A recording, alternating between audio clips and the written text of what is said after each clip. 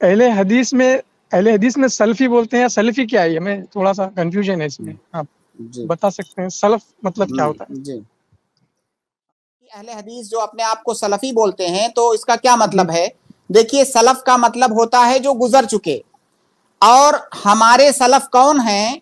अहले हदीस जब सलफी बोलते हैं तो वो क्या मुराद लेते हैं? सबसे पहले हमारे सलफ हैं सहाब कराम सहाब कराम ने दीन को जैसे समझना है उसी तरह से उनकी समझ के मुताबिक दीन को समझने की कोशिश करने का नाम सलफियत है।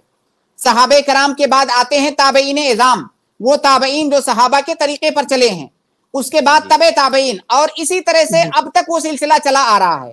तो जिन्होंने भी दीन को सहाबा ताबईन तबे ताबईन और सलफ उम्मत के तरीके पर समझा है उनको सलफ का सलफी कहा जाता है।